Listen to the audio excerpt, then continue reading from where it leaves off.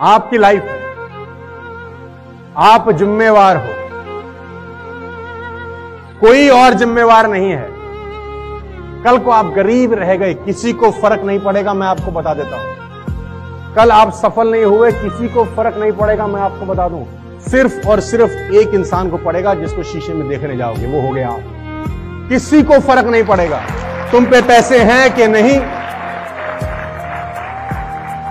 तुम गरीब रह गए, तुम्हारी किस्त बाउंस हो रही है, बच्चों की फ़ीस टाइम पे नहीं जा रही, बच्चे एवरेज स्कूल में पढ़ रहे हैं, किसी को घंटा फ़र्क नहीं पड़ेगा। सिर्फ़ तुमको फ़र्क पड़ेगा दोस्त, अपना समय बर्बाद मत करना। इस समय ने अच्छे अच्छों को बर्बाद कर दिया है। समय है, बदल जाओ।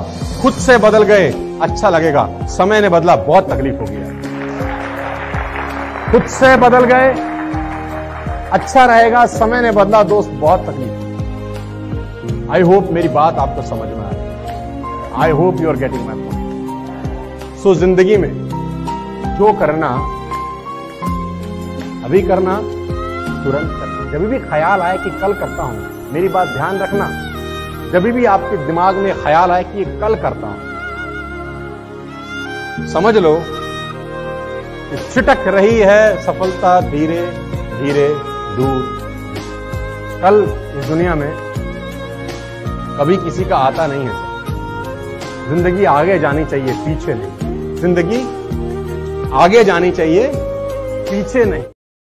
दोष किसी और का नहीं है। अगर आप ज़िंदगी में सफल नहीं हो सके, सौ प्रतिशत दोष आपका है।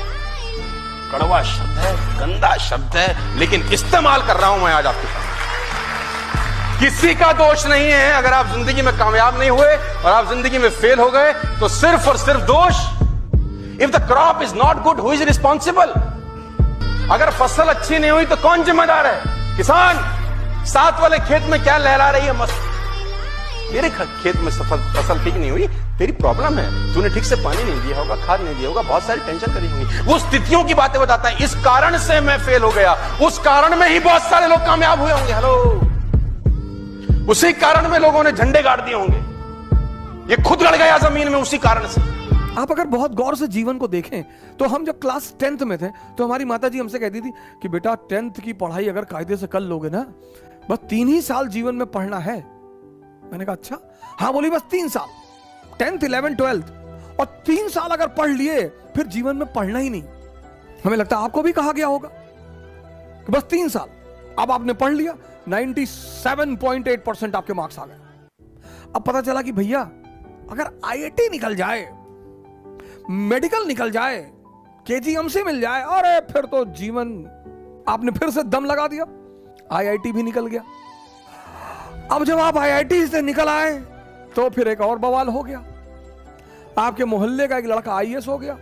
पूरा खानदान को दहेज में बीएमडब्ल्यू मिल गई। दस करोड़ कैश मिल गया।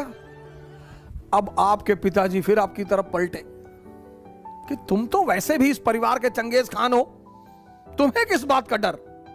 तुमने कहा हाँ चंगेज खान तो मैं हूँ। हाँ बोला जब ये मामूली सा, ये सिंह साहब का लड़का अगर आई बन सका, तुम्हारे लिए क्या है? तुमने कहा, बिल्कुल, हमारे लिए क्या है? और तुमने झोरा डंडा उठाया और बाबूजी का पैर छुआ कि बाबूजी चल रहे हैं। अब दिल्ली फतेह करके जाएँगे चलो, फिर आई बन गए। फिर बन गए। आप देखो, ज़िंदगी में कहीं भी संघर्ष खत्म नहीं हो रहा है। रूप बदलते जा रहे हैं, रूप। तो जब संघर्ष खत्म नहीं होता तो क्यों ना मज़ा लेके संघर्ष किया जाए? और जितने लोगों ने मज़ा लेके संघर्ष किया, उन्होंने इस दुनिया पर राज किया। जीवन की सबसे बड़ी कठिनाई ही कामयाबी का सबसे बड़ा सहारा बनती है। कई बार कड़ी मेहनत के बावजूद हमें सफलता नहीं मिलती।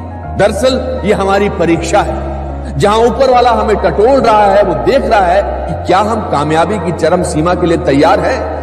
जो लोग थक कर रुक जाते हैं, वही रुक जाती है उनकी किस्मत। और जो माथे का पसीना पोछ कर एक लंबी सांस लेकर आगे बढ़ते हैं ऊपर वाला उनके सामने पूरी सृष्टि झुका देता है।